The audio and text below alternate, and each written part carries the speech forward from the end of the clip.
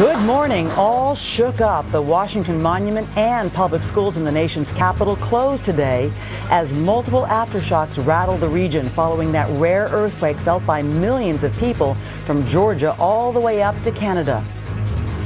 All eyes on Irene. The hurricane threatening to pound the East Coast intensifies overnight as the storm slowly turns towards the United States. And this morning, evacuations are already underway off the coast of North Carolina. And scary moment. Former First Lady Nancy Reagan falls at an event in California.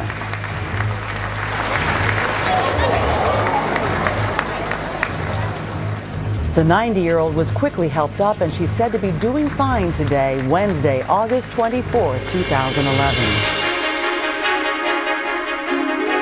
From NBC News, this is Today with Matt Lauer and Ann Curry. Live from Studio 1A in Rockefeller Plaza. And welcome to today on this Wednesday morning. I'm Ann Curry. And I'm Carl Quintanilla in for Matt once again. It's the question everyone is asking here on the East Coast, and that is, did you feel it? Not a bit. I'm from the West Coast. I'm used to major, major earthquakes, but also I was on the ground floor having lunch with some friends. My husband was on the 18th floor here in New York City. Mm. He said he definitely heard, felt the swing. How yeah, about you? We had, we had just put our toddlers down for a nap, and I thought, man, they're making a lot of racket. Uh, as usual, but uh, more than usual. Yeah, but not as much as a lot of people around the country. Yeah, that's right. In fact, it was a 5.8 magnitude quake. It hit at 1:51 Tuesday afternoon, causing minor damage in around the Washington D.C. area. The Washington Monument has been closed indefinitely after engineers found a crack near the top of it. Much more on the quake in a live report straight ahead this morning. Also, Dominique Strauss-Kahn now a free man after the sexual assault case against him was dismissed. Is he angry he was paraded in front of all those cameras when he was first arrested? Should he now file a civil suit against his accuser? We'll talk to his defense attorneys. That's right. They're live in our studio. And also ahead, could you imagine living in a home with 29 cats and nine dogs? Well, mother of five who struggles with animal hoarding will be joining us to talk about her compulsive need for animals. Also, Carrie Fisher's dramatic new look after struggling for years to control her weight. She's going to reveal her slim new figure right here this morning. That's exciting. Good for her. Well, well, let's begin, however, with nature's wrath on full display here in the east. We're going to go to the latest on Hurricane Irene in just a moment, but we begin with this earthquake. Fell from Atlanta to Montreal, its epicenter near Mineral, Virginia. NBC's Tom Costello is there. Hey, Tom, good morning. Good morning. They're blaming this on Carl's kids. Uh, we've had some significant aftershocks here in Mineral. We were all awakened at about 1 o'clock in the morning with this real strong rattling. It's probably going to continue, they say, for a couple days, months, or even or weeks, I should say, or even months. Behind me, look at the masonry on the back of Town Hall. It's come down. They're very concerned about the structural integrity of Town Hall. Throughout this area, we've got some homes that came down, but those were old abandoned homes, chimneys down. And now to the Washington Monument, where they have have found cracks at the top of the monument. They have building engineers who are going to be looking at the monument very, very closely today. Keep in mind, of course, that the Washington Monument was uh, built about 150 years ago, and so they're concerned about how structurally strong that will be. And the monument, of course, is closed today. 12 million people up and down the East Coast felt this quake, the strongest on the East Coast since 1944 got really scary because as the building started shaking, stuff started falling down. The earthquake hit in the middle of the day. There's another tremor. 1:51 p.m. Eastern Time, interrupting a cooking yes. show on TV in Washington. The fish is nearly ready. Earthquake. Those who felt the powerful quake could hardly believe it. My first impression was, is the building coming down on me? I didn't know. I, I didn't want to panic, but everything in me told me to get out of that building. People not used to earthquakes in this region ran from buildings. Some dove under their desks. David Harmon was making a commercial for his car service company in Chantilly, Virginia. Hey, Greg. Huh? What was that? My God, I, I think that was an earthquake. The 5.8 magnitude quake was centered here in the small town of Mineral, Virginia, about 40 miles northwest of Richmond, where surveillance cameras captured the moment the quake hit, rattling a gas station, small shops, even shearing the bricks off the back of Town Hall. Here at the epicenter, this may be the most damaged spot. This is Miller's Market. Four years ago, BJ and his wife Aman Singh opened this small grocery store and everything came off the shelves. They've also lost their coolers and their freezers. That means they're going to lose their dairy products, they're going to lose their meat, and also the roof is in trouble. They think the damage here may go to $150,000. I was shocked and feel like crying because this is the only livelihood we have. A large area of the U.S. and even Canada felt the shaking, from Montreal in the north to Atlanta in the south and Chicago in the west. Experts say the quake was exceptionally shallow, amplifying its power. We had about 25 states feel a shaking, so that's rather unique in that regard. More than 80 miles from the epicenter, they felt the tremors at the White House, which evacuated for a time. The president briefed on the quake while on vacation in Martha's Vineyard, where they felt the shaking too. Back in Washington, the Capitol and congressional offices were closed for nearly three hours as inspectors checked for damage. The Capitol rotunda was littered with paint and plaster from chips falling from the domed ceiling. We're working with the architect of the Capitol, uh, some other entities to determine the structural soundness of these buildings. And tourists were evacuated from Washington's major monuments, all closed for the rest of the day. The National Cathedral sustained some of the worst damage in D.C. Three of the four stone pinnacles on its central tower fell off, and the tower itself seems now to be leaning. At first, I thought it might be, you know, subway car or something. Then I realized there's not a subway around here, but the floors were actually rolling. And with the quake coming so close to the 10th anniversary of 9 11, a special kind of fear in New York, where workers near Ground Zero spilled out into the streets and in Washington, where nervous workers were evacuated from the Pentagon. As a, a product of 9 11, I immediately assumed the worst, um, and I also never thought, I never thought of an earthquake in Washington, D.C. Couple of late updates for you. There's a nearby nuclear plant here, the North Anna plant. Both reactors were shut down automatically when the earthquake hit. We are told now the power has been restored, and so they're going to do a very close inspection before they power up the reactors to make sure uh, everything is okay, but there is no danger there of a radioactive leak. Also, D.C. area schools closed today as they inspect all of the schools and airports up and down the East Coast that shut down for a time yesterday to inspect the towers, inspect the runways. They came back online late yesterday. They should be normally operating today, as well as Amtrak. It's a mouthful. I know you. are doing a great job telling it all to us. Hey, thanks a lot, Tom Costello. We've got Lucy Jones. She's a seismologist with the U.S. Geological Survey now joining us. Lucy, good morning to you. Oh, good morning, Ann. So it's not every day that we see an earthquake, even though this was not a major quake, a 5.8 in the northeastern part of the United States. Can you add any more perspective on just how rare this event was? Well, you have to go back 114 years to the last time we had an earthquake this large in the eastern U.S. That was actually also in Virginia, 5.9 out near Blacksburg. So it's the size of earthquake that California has every couple of years, but you have about once per century. Mm-hmm. And the reasons why it was so widespread, as we saw from Tom Costello's map just a moment ago, are pretty interesting. And it has something to do, as I understand, with the crust on the eastern part of the country. Can you explain that? Right. I mean, the good news for you is that you don't have very many faults, but that means all those rocks well, some people are, might dispute that and, and very intact. So when you do have an earthquake and it sets ways off, just like on an intact bell, the crust keeps on ringing for a much farther distance than we see here in California for the same size earthquake. All right. Well, um, th- good news though is you don't have as many faults. Well, well, some people might actually dispute that for me personally, but but in terms of the country, that's good news. But does that mean that it's harder to predict an event here on the East Coast if you don't have clear faults to sort of point to? Well, right. We we have a big question about when we have an earthquake on the East Coast. Why are we having them? It's not the big plate tectonic motions. Uh, so we really think that we could have an earthquake of this size potentially anywhere in the United States. It's very rare, but there's nowhere we're willing to say we couldn't have this size earthquake. All right, I want to take up a couple of questions that people are probably asking. Could what happened on Tuesday be a precursor for a larger event? Standard has protected It's always possible, but every moment we pass since the earthquake makes it less likely. It's just that every earthquake makes others more likely. We mostly they're smaller and we call them aftershocks. But if about 5% of the time, an aftershock will get bigger than the first one, and then we change the name. But uh, each day you go greatly reduces the risk. Okay, we've already had a small aftershock or two already on Tuesday night. So, how many more might we expect? How long might they be extended to? And how intense, as you just talked about, could they get? Well, probably, given what we've seen already. We've already had a 4.2 and a 3 something early this morning. We might see another 4 uh, over the next couple of days. Probably we're going to see another magnitude 3 or so.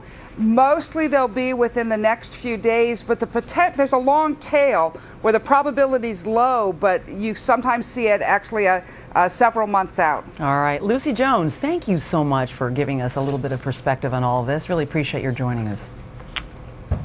I'm glad to be here. It is now 7:10. Here's Carl. And thanks. You can't really prepare for an earthquake, but that's not the case for a hurricane. And this morning, residents from Florida to New England are stocking up ahead of a possible hit from Hurricane Irene. Al Roker is tracking the storm. He's upstairs with the latest. Al, good morning. Well, good morning, Carl. It is a Category 2 storm, and it is intensifying. Right now, it's 370 miles southeast of Nassau, Bahamas. Category 2 with 110 mile per hour winds. We expect some intensification today. It's moving west northwest at 9 miles per hour. Right now, we've got hurricane warnings and watches up all throughout the Bahamas. In fact, all of the Bahamas, Turks and Caicos, all the way up to the northwestern Bahamas are in hurricane warnings right now. And we've got we look at a number of different models that we use to track this storm. And as you can see, we, these are the computer model projections, and most of them bring it right across the Carolinas and eventually on up into New England. Here's the timeline that we're looking at as far as the National Hurricane Center is concerned concerned. Hurricane Irene, a Category 2, starts its way up the coast as we get on into Thursday and Friday afternoon. It parallels the, uh, the Florida coast. Saturday morning, it's off the North Carolina coast, continues up over Cape Hatteras Sunday morning, and by late Sunday on into Monday, it's into New England as a Category 1 storm. That's 85 mile per hour winds possible. So we're going to continue to track this, but up and down the eastern seaboard, everybody has to be prepared, and we'll have more on this a little bit later. Carl? Carl? Mother Nature pulling out all the stops this week, Al. Thanks. People on a small island off the coast of North Carolina are already being told to evacuate as Irene heads for the eastern seaboard. NBC's Kerry Sanders is in Jacksonville, North Carolina. Kerry, good morning. Well, good morning. I'm over on Emerald Isle right now, and it is a beautiful morning, which makes things even that much more difficult for the emergency management officials telling people, okay, start to plan and leave because they see such beautiful weather. But already, as you said, there are some mandatory evacuations underway. That's on Ocracoke Island here off the coast of North Carolina, where this morning at 5 o'clock, the ferry brought over about a dozen cars. The idea is to get the tourists off first, and then about the 800 residents residents that live there off and begin so that they have everybody moving off the coast within the next 48 hours. With Irene just days away from a possible landing in the Carolinas, flags are already warning beachgoers to stay out of the rough surf.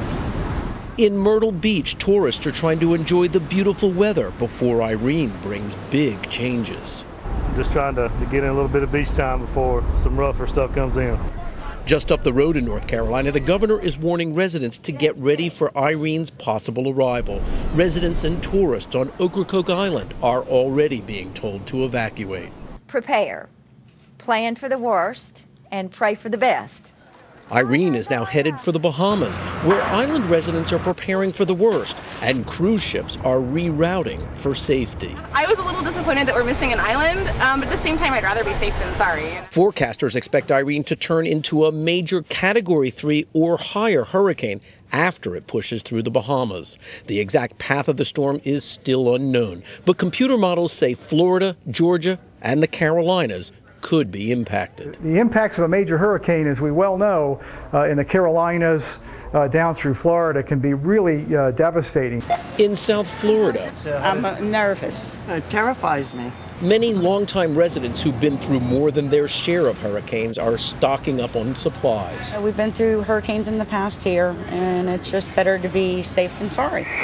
The worst of those hurricanes hit South Florida 19 years ago today. We're underneath Metro Rail. The winds are gusting outside our car up to 165 miles per hour. I was a young reporter in Miami when Andrew became the worst natural disaster to hit the U.S. in August 1992.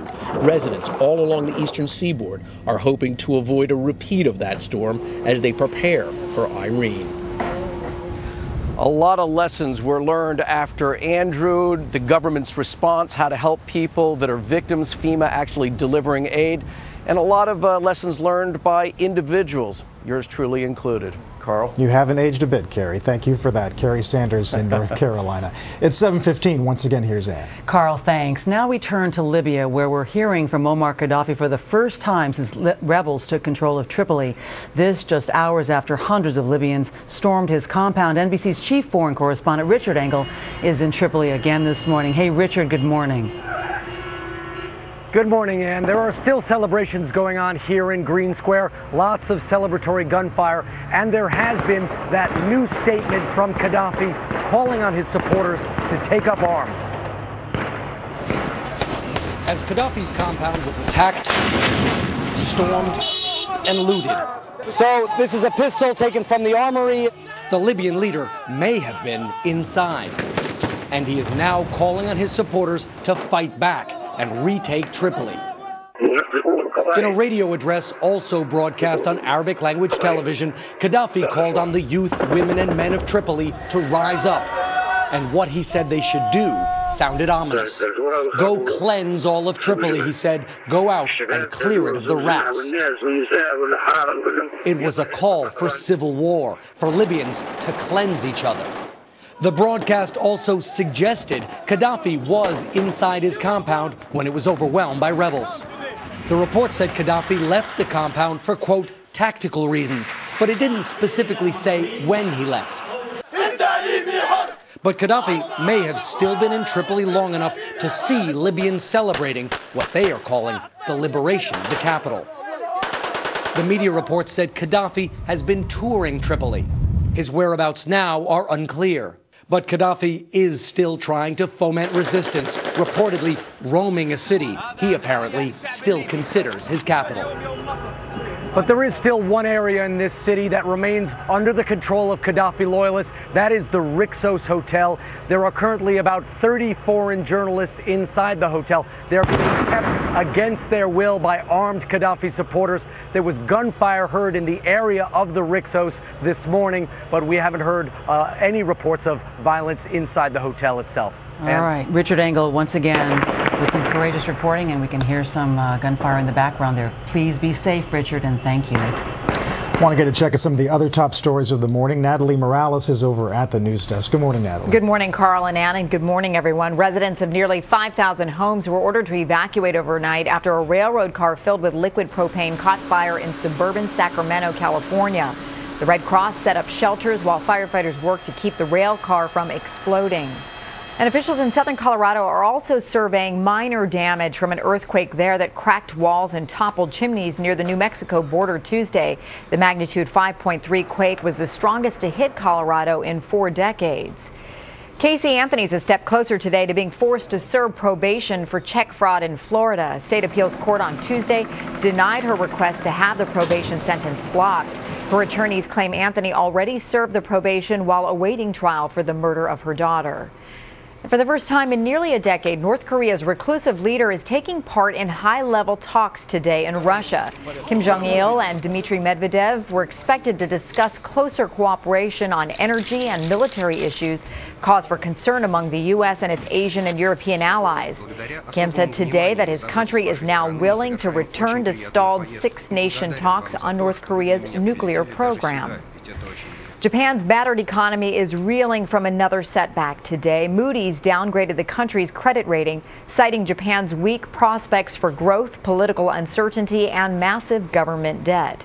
And that downgrade had a strong impact on world markets despite Tuesday's powerhouse rally for the Dow. CNBC's Melissa Lee is at the New York Stock Exchange. Good morning, Melissa. Good morning to you, Natalie. Japanese stocks are down 1% on the back of that news. European investors, meantime, seem to be shrugging off the news. The focus now among global investors whether Chairman uh, Ben Bernanke of the Federal Reserve will talk about further additional stimulus in his speech on Friday. Meantime, the latest data on the housing market is grim. Sales of new homes hit a five month low in July, a high jobless rate above 9%, as well as a backlog of existing homes, certainly not helping sales at this point. Natalie. All right, Melissa Lee at the New York Stock Exchange, thank you. And a scary moment for former First Lady Nancy Reagan, who tripped over a post used for crowd control during an event last night at the Ronald Reagan Library. As you see there, even as she was escorted to her seat, the 90 year old Mrs. Reagan was not hurt. She was fortunate, though, because each year a half million older Americans are hospitalized after falling.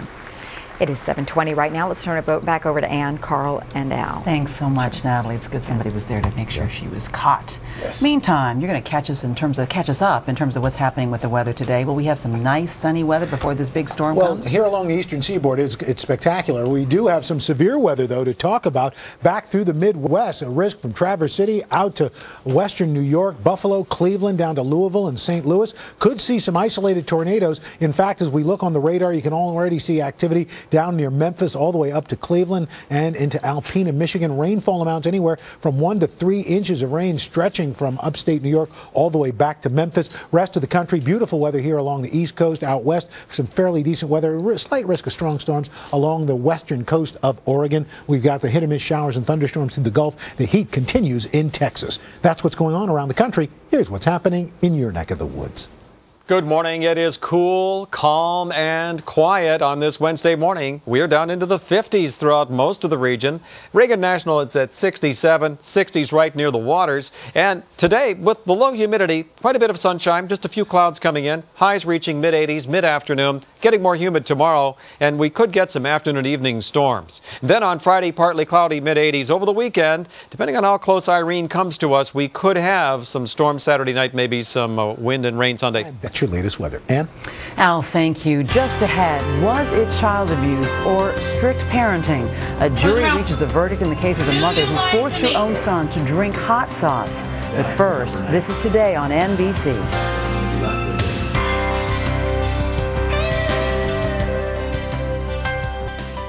This is something that has not happened in our area since 1897. News 4, first on the air when Tuesday's earthquake struck. Considered a moderate quake. First with reaction. Continued to shake. Washington's breaking news leaders. It happened so quickly. News 4. Coming up, an inside look at the life of an animal hoarder. We're going to talk to a woman who lives with nearly 40 dogs and cats in her home. She's going to open up about her struggle and its impact on her family, which includes five children. Plus, did you see some of these comments from the West Coast about the East Coast's reaction to the earthquake? We're going to show you some of the funny photos mocking those of us on the East Look Coast. at that one. I know. We will First, your rebuild. local news and weather. 11. 7.30 now on this Wednesday morning, August 24th, 2011. It is another stellar start to the day here in the Northeast, bright and sunny, as well as our crowd looking happy be soaking it in here out on Rockefeller Plaza. Hi to all of them and to their folks back home. Inside Studio 1A, I'm Ann Curry alongside Carl Quintanilla, who's in for Matt again this morning. It's been so fun Thank to have you so much. here. It's been a good time. And we'll be talking about this, uh, a very serious story coming up. Uh, it's about the tragic details, the new details about the, the death of Amy Winehouse. Her family says that toxicology tests show no illegal drugs were found in the singer's system when she died. So, what killed the talented and troubled artist? We're going to be live in London with the latest on this story. She was so talented. Yeah. Also, where does Dominique Strauss-Kahn go from here now that his sexual assault case has been dismissed? Does he feel like he was treated fairly? Will he now sue his accuser? His defense attorneys are going to speak out coming up. All right, they're right there in our studio. And also this morning, the disturbing and strange condition of animal Everybody hoarding. We'll be talking away. to a mother of five who brought nearly 40 cats and dogs into her home and nearly lost her family in the process. But let's begin this half hour with the verdict in the case of a mother who forced her son to drink hot sauce and take cold showers. On Tuesday, a jury found that woman guilty of child abuse. NBC's Aditi Roy is in Los Angeles with the latest on that. Aditi, good morning. Good morning, Carl. It took the three men and three women on the jury one day to convict Jessica Beagley. At the center of the trial was a video Beagley made and sent to the producers of the Dr. Phil show. It shows her pouring hot sauce down her son's mouth, then making him take a cold shower. In the case of Municipality of Anchorage versus Jessica K. Beagley, we, the jury, find the defendant Jessica Beagley guilty of child abuse as charged. The decision came swiftly. After hearing four days of testimony and watching this eight minute video, What happens when you lie to me? jurors convicted Jessica Beagley of misdemeanor child abuse. Beagley first drew international attention with this video, Close your mouth. Did you swallow it? Good. showing her pouring hot sauce down her seven year old son's mouth and putting him in a cold shower to punish him for behaving badly. You are in the shower because you made bad choices. Do you hear me?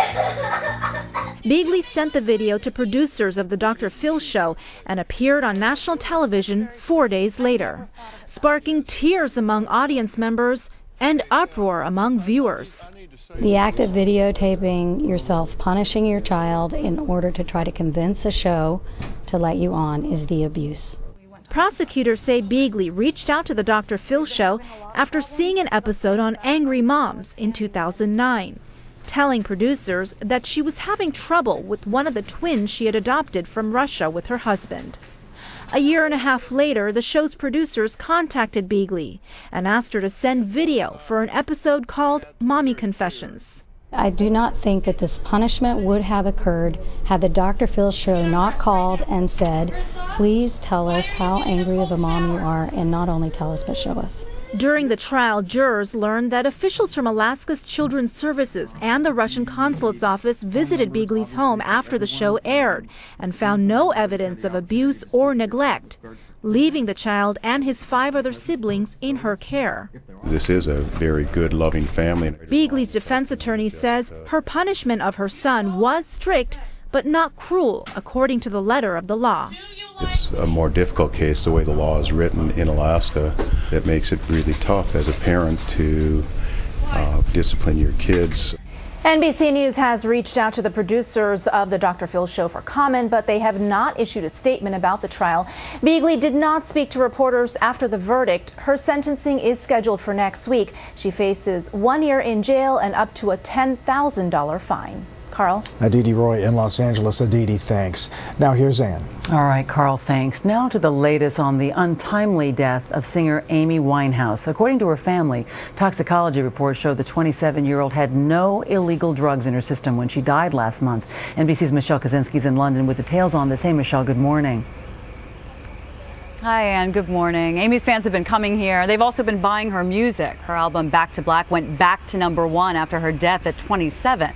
And for everything the world knew about her addictions, now we know what did not kill her, though what did remains a mystery.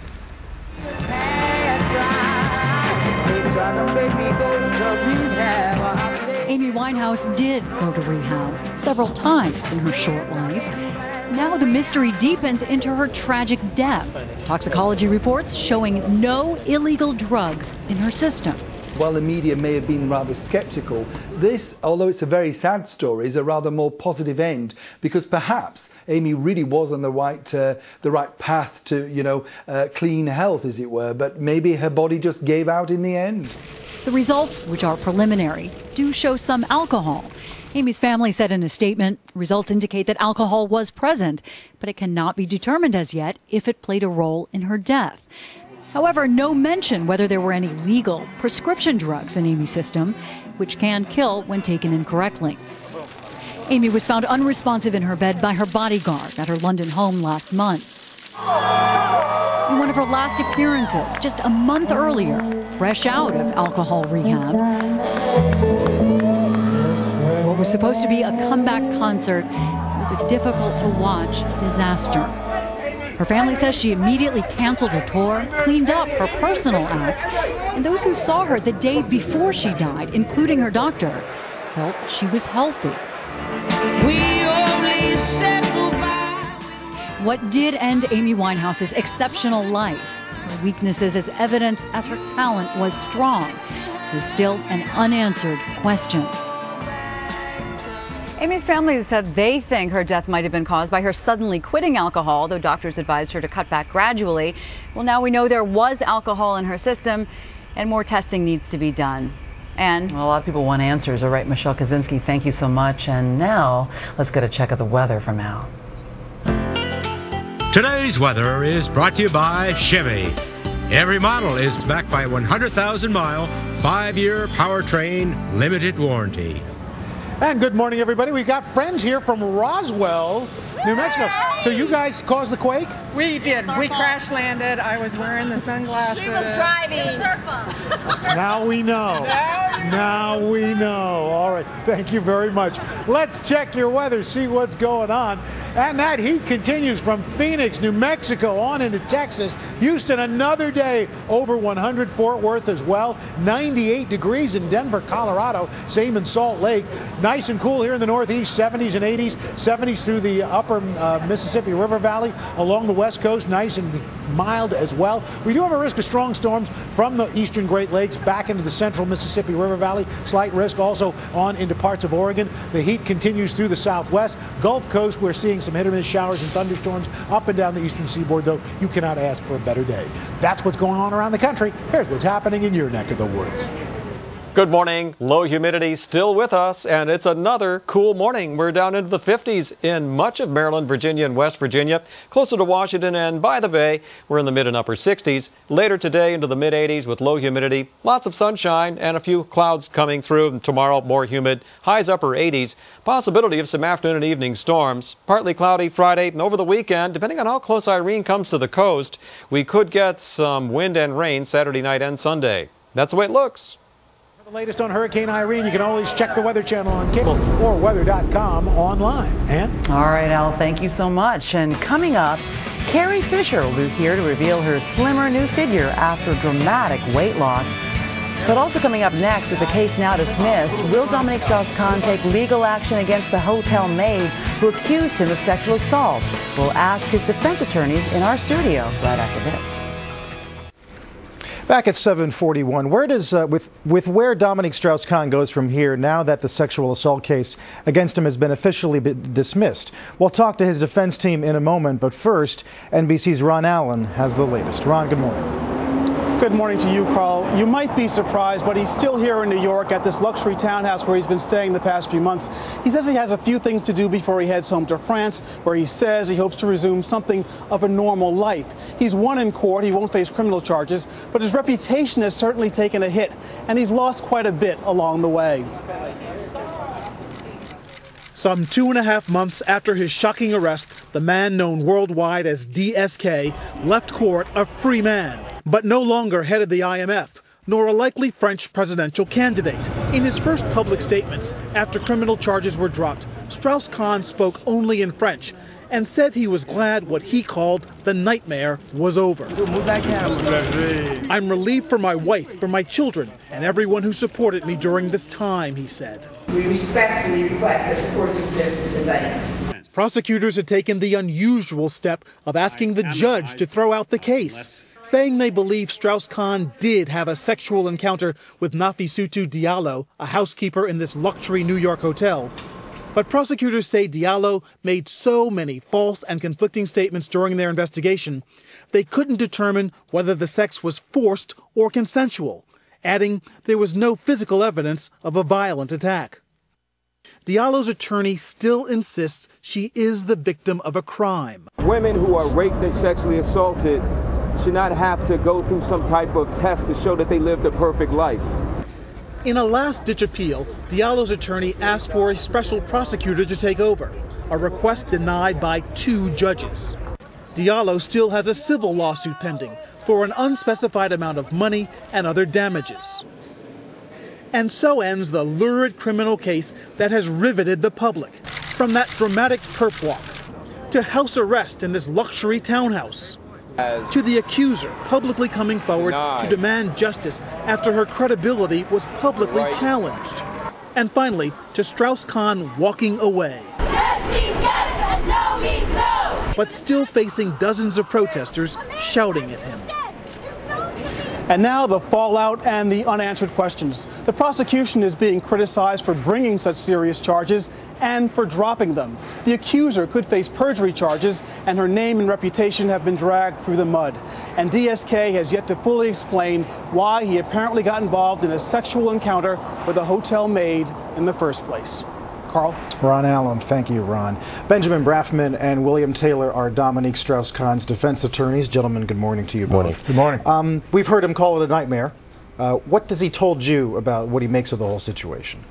Well, I think uh, at various times we've had uh, some conversations, some more difficult than others. I think now he is relieved. Um, I think uh, unless you have yourself been falsely accused of a very serious crime that you did not commit, I think it's impossible to understand the full measure of relief that Dominique Strauss-Kahn feels today. He's greatly relieved. The charges were dropped, Bill, but clearly something happened in room 2806, right? Forensic evidence of a sexual encounter. Was he honest from the beginning? Did he say, yes, something happened, but it's not the way she puts it? Well, as Ben said yesterday, there is a great deal of difference between a sexual encounter and an attack. Um, and the issue in this case was whether or not he attacked her. The story was improbable on its face that this man would emerge from his bathroom in the nude and jump without, without further ceremony on the, on the chambermaid.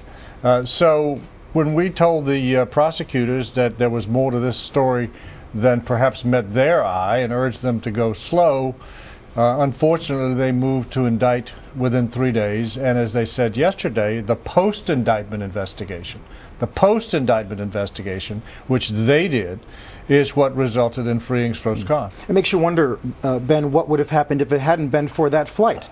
Maybe they wouldn't have had to make such a quick decision on an indictment. I think it's I think it's tough today to go back and, and, and figure what could have happened, what would have happened. We're dealing with the reality of what did happen. What did happen is he paid a heavy price for uh, a momentary lapse of judgment that was not criminal. And at the end of the day, um, now that the charges are dismissed, um, I think it's a statement to the world that um, in these cases, uh, including the media, I might add, that rushing to judgment is not a good idea and let the system play itself out. The presumption of innocence is an important uh, concept in our in our country. What happens to him next? Public life in France, going back to global economic work in some way? I think he has a lot of options. I think Bill is probably best suited to talk about public life in France, but uh, I think his options are uh, wonderfully wide. Uh, he's a brilliant man and a brilliant economic mi mind when we need that most. Bill? Yeah, I think uh, until yesterday, we have not been able to tell him that he was free to make decisions of any sort. Uh, today he is, and I think he and his family uh, will take some time and just relax. Um, they will make whatever arrangements they want to make about where they want to live and when they want to move. Um, and then I suspect he'll gather his friends about him and make some decisions. There's always going to be, I think, a, a, school of thought that here was a man who had a sexual encounter with a hotel maid, had lunch with his daughter, and went to get on an airplane. Have you, have you made a moral judgment about the man? I think uh, we shouldn't make moral judgments about people. In this country, if you do something inappropriate, you don't get prosecuted. The moral judgment I've made about this man is on balance. He's quite a remarkable individual. I'm very impressed by him on balance, and the momentary lapse of judgment does not make the man. I think he is a brilliant uh, mind, and I think he has a lot to offer the world. Um, and I hope the, off the offers are uh, wide and interesting. Benjamin Brafman, William Taylor, thank you for coming in. Thank you. Coming up, what's it like to suffer from animal hoarding? We'll talk to a mother of five who kept nearly 40 cats and dogs in her home. Plus, did we overreact? How the West Coast is mocking the East Coast online over Tuesday's earthquake. Right after this. As we mentioned, Tuesday's 5.8 magnitude earthquake was the strongest to strike the East Coast since World War II. But the way many people reacted here in the East Coast received an instant mocking from some seasoned quake veterans on the West Coast. Mocking's a polite word. Yeah, yeah they were dishing us big time. Uh, oh, some the of the Twitter was crazy with it. I mean, you know, the West Coasters saying we eat 5.8 for breakfast out here. exactly yeah. right. In fact, a lot of people like posted pictures, and some of them were from actually the East Coast, showing, you know, look, Our this damage. is a this is stunning photos of damage caused by East Coast quake. There's another one I like. Oh, there you go. Yeah, Yeah. There you Yes, go. there you go. Yeah, That very nice. Very important. That's from the aftershock, right I, there. I actually very quickly retweeted an image that I saw of um, a lawn chair, some plastic furniture. That it Tipped was over. That, not that one, but another one tipped over. Exactly, making the point In that fact, it was. one of our producers, Jen Long, was in Rhode Island and sent this incredible quake damage uh, picture. Yes. and what did she say to it? What did she write? We, will, rebuild. What's amazing to me is uh, how uh, people did things running out of buildings that you're really not supposed to do Yeah, during exactly. an earthquake. Natalie's, Natalie's first reaction was she thought she was drunk. That's what she said. I did. But I she had was. A lunch, I had a lunch earlier that day, and I was like, "But wait, I didn't have anything to drink." I know, I know. No, but really, no, that's a very good point you're making because you're not supposed to run out of a building. As we all, who grew up on the West Coast will tell you, you need Right. to get under furniture, get into a door Stand under a jam, doorway. and wait. Right. Don't run out because Right. that's actually where most people get hurt. Oh! Oh!